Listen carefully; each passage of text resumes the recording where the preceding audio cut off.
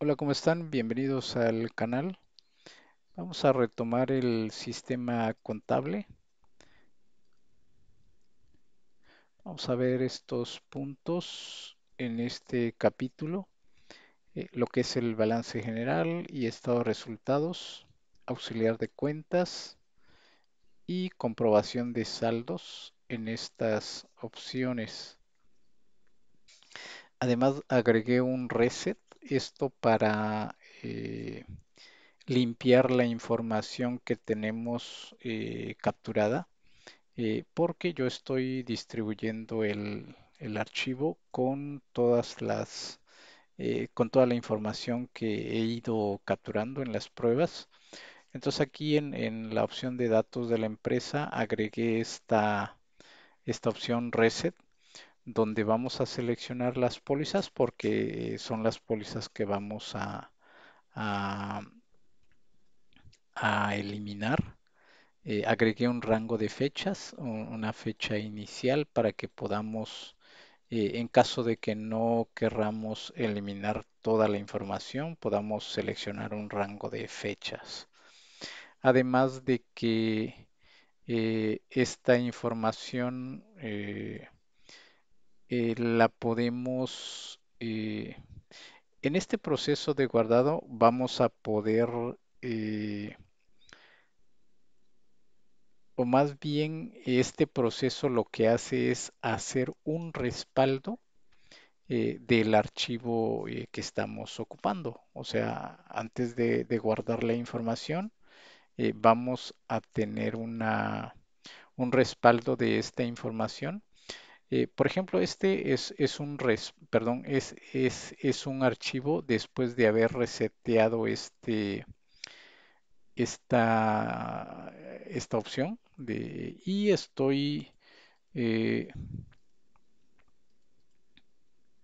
eh, estoy usando el, el, archivo. Este es el respaldo.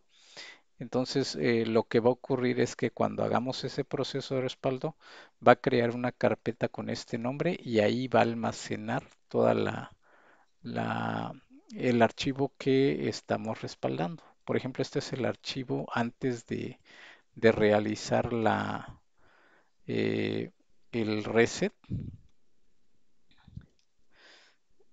Voy a cerrar el, el, otro archivo.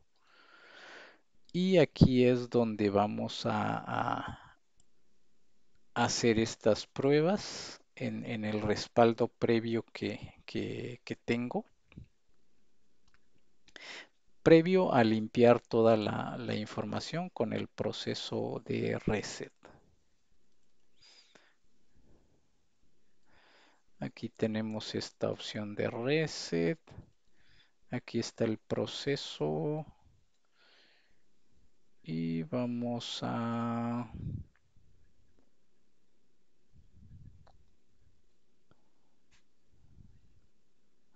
Ok, aquí está todo el proceso.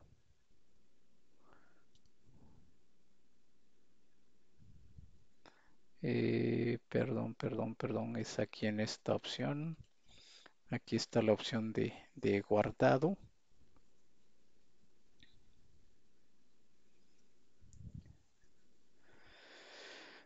Ok, ok, ok.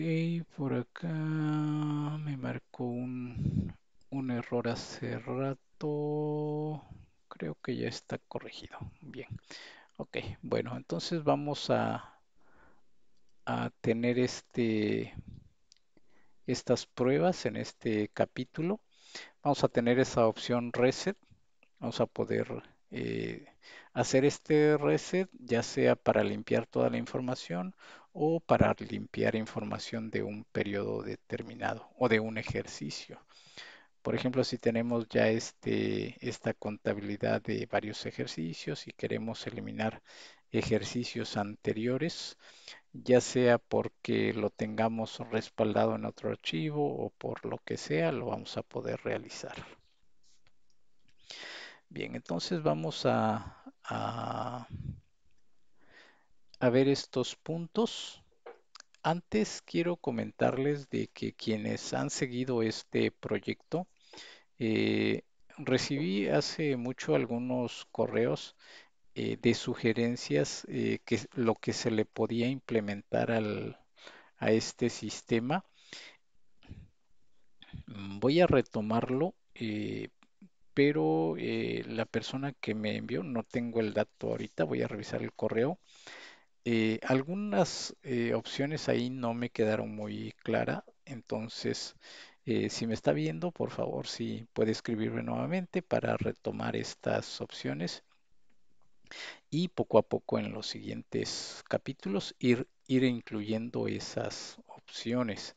Eh, yo creo que ya de cierta manera ya es funcional este sistema porque ya tiene la captura de póliza, ya eh, imprime la, la balanza, los reportes, los estados financieros. Aún faltan eh, más reportes financieros. Aquí tiene que ir creciendo, pero al menos los reportes básicos ya lo hace. Eh, por así decirlo, una contabilidad básica ya la podemos eh, llevar a cabo. Eh, no sé si alguien ha estado haciendo pruebas con este proyecto, ojalá y que sí para que también podamos ir depurando en las inconsistencias que se vayan detectando. Vamos a ver como primer punto una consulta de los estados financieros. Eh, ya hemos hecho algunas consultas, pero en este capítulo lo que agregué es la presentación en pantalla de, del balance general y del estado de resultados. Esto no lo tenía contemplado, pero eh, yo creo que sí es, es importante que lo tengamos en pantalla eh, para poder visualizar alguna información rápidamente. Eh, además de que vamos a tener la opción de exportarlo a PDF y enviarlo o imprimirlo o tenerlo como respaldo para una consulta rápida. La comprobación de saldos lo vamos a, realizar porque esa es la, la idea de que vamos a comprobar todos estos saldos. Eh, lo que tenemos en la balanza de comprobación con los estados financieros, con los auxiliares de cuenta y la relación de saldos. Este punto 2 de auxiliar de cuenta lo vamos a ver eh, también en este mismo proceso de validación de saldos. Eh, aprovecho para comentarles eh, los cambios que, que hice. Vamos a visualizar que, qué cuenta. Eh, vamos a traer, esta cuenta está integrada por dos, lo que es la eh, la cuenta de caja y la cuenta de bancos. Eh, al mes de enero tenemos 13.085. Eh, si consultamos el, el auxiliar de cuentas en la cuenta de caja, vamos a seleccionar el mes de enero al 31 de enero. Eh, en esta opción le agregué estos, estas opciones para poder eh, eh, tomar la fecha de un calendario. Este control que no lo tenía yo implementado. Y si vemos aquí tenemos 3059. Voy a hacer esa, esa anotación.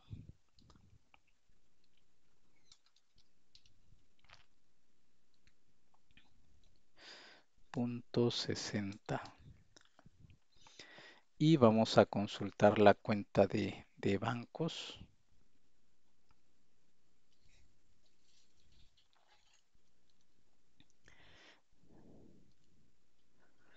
Eh, aquí se nos va a, dificultar un poquito la consulta eh, porque vamos a tener que hacer varias consultas. Este saldo lo vamos a comparar más bien con la balanza y el saldo que tengamos en la balanza lo vamos a, a comprobar con eh, el estado financiero. Vamos a consultar la balanza al mes de enero. Y si nos damos cuenta, el saldo que tenemos en caja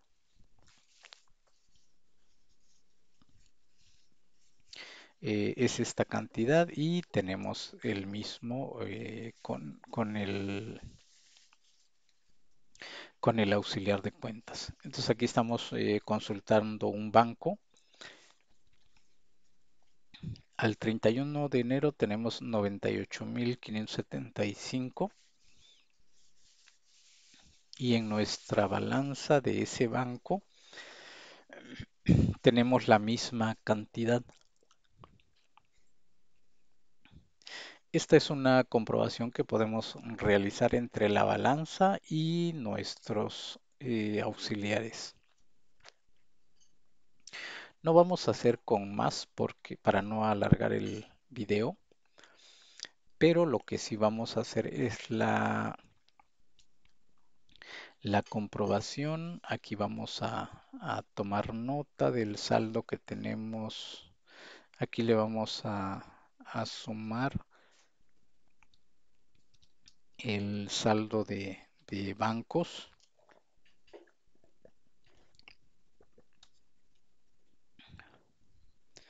Y lo vamos a comparar con el estado financiero.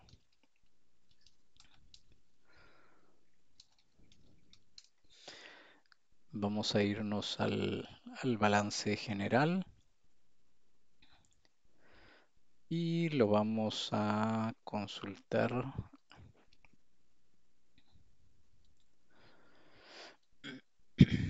ok vamos, vamos a regresarnos a la balanza al mes de enero tenemos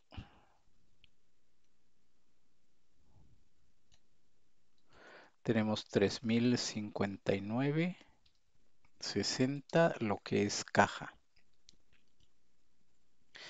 Y lo que es bancos tenemos 101 217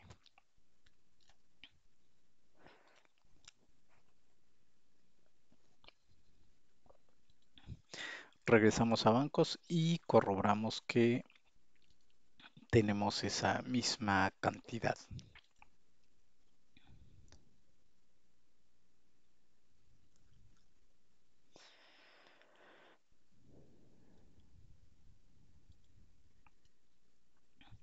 Entonces comprobamos saldos entre la balanza de comprobación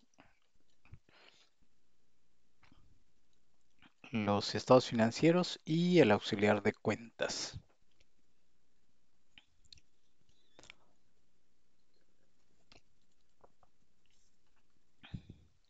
La relación de saldos. Este es un extracto de, la balanza porque podemos eh, seleccionar un,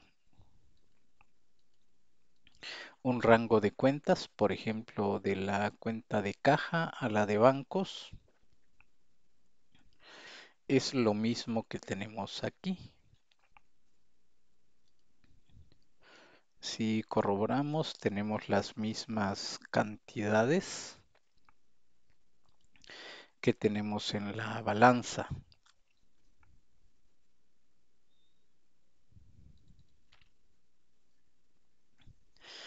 Ok, esa, es la comprobación que he estado realizando.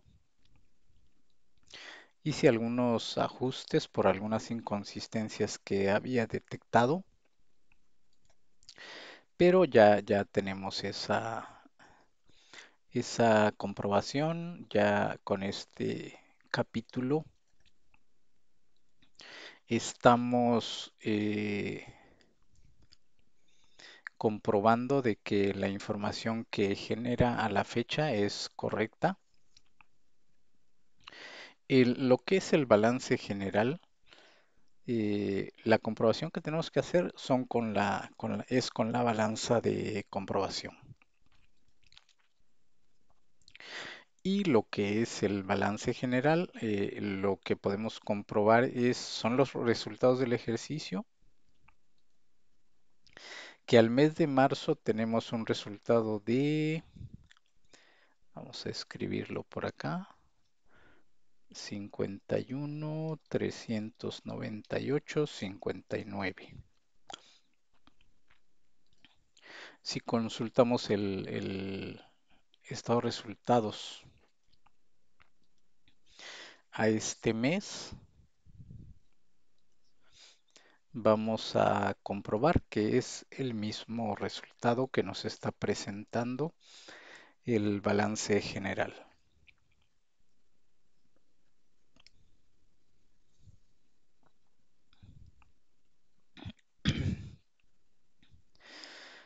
Y las demás cuentas podemos irlas comprobando con, con lo que es eh, también la balanza. Perdón. Por ejemplo, este concepto que es ingresos por servicios y otros ingresos. Esta cuenta la, la vamos a encontrar aquí. Es la 401. Vemos que tenemos al mes de, de marzo, debe ser.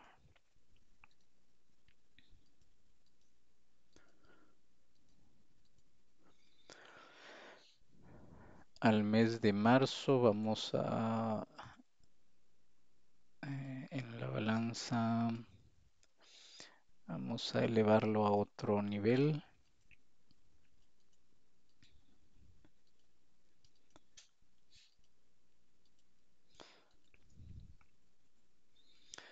Ok, vamos a revisar nuevamente la cuenta de ingresos. Son 28 mil y la cuenta de otros ingresos son 95 mil 410. Entonces de esa manera podemos ir comprobando nuestros saldos. De igual manera con los demás conceptos. Y vamos a, a estar comprobando de que esta información ya es, es eh, confiable. Estas cantidades no las estoy alineando a la derecha porque eh, al tratar de hacerlo eh, se estaban distorsionando demasiado. Entonces lo estoy dejando tal como se muestra. Porque únicamente es la presentación en pantalla. Recordemos que eh, cuando exportamos esta, esta información a, a PDF, aquí sí ya tenemos esa información justificada. No tenemos problemas con, este, con esta información. Aquí estoy viendo unos datos. Unos datos inconsistentes. Bueno, aquí el signo negativo y en esta parte. Voy a revisarlo y en el archivo que yo les libere ya va, ya va a estar corregida esta información. Eh, porque aquí, aquí la estamos viendo correctamente.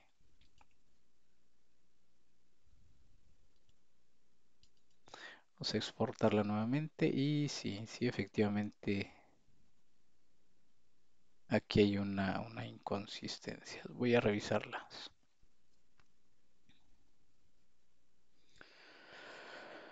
Ok, entonces para este capítulo tenemos este, eh, este avance.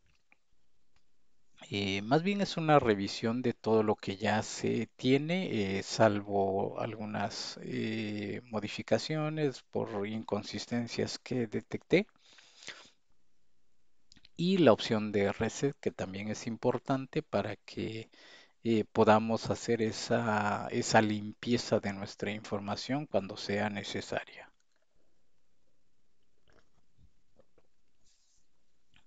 Entonces, para todos los que siguen este proyecto, eh, espero sus comentarios eh, para que podamos ir eh, ajustando este sistema a las necesidades que se requieran y también para que eh, las personas que ya me han hecho algunas sugerencias lo retomemos y es el momento de, empezar a, enriquecer este proyecto para que eh, quienes gusten pueden implementarlo, pueden descargarlo del link eh, que está en el video o me pueden escribir al correo para que yo se los reenvíe directamente el archivo.